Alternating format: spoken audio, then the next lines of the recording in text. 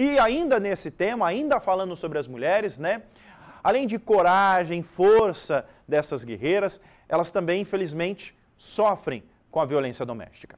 A nossa equipe de reportagem entrevistou a delegada da DAN, que é a delegacia aqui da mulher de Três Lagoas, Letícia Mobs, que é titular da delegacia de atendimento à mulher.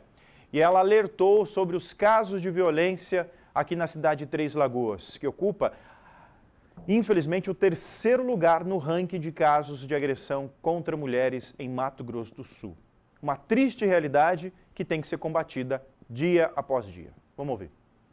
Desde os primeiros sinais de ciúmes excessivo, controle do, do companheiro sobre a vida financeira, sobre as amizades, os familiares, as, os primeiros sinais de ameaça, xingamentos, a mulher deve estar atenta e denunciar esses casos para que não chegue ao extremo de um feminicídio. Estar sempre alerta e não perdoar, não deixar passar esses é, esses crimes menos graves para que não se chegue ao extremo. Sim, o que a gente sempre fala é o seguinte: por mais que a medida protetiva não seja um policial à sua porta 24 horas, porque isso não existe, já é alguma coisa. Para a maioria dos casos, ela funciona assim.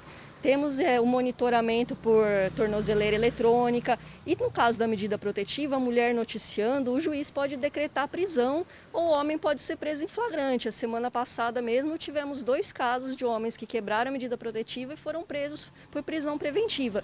Então é sempre importante denunciar para que isso não, não passe em branco e o homem tenha ao menos uma reprimenda inicial nesse momento.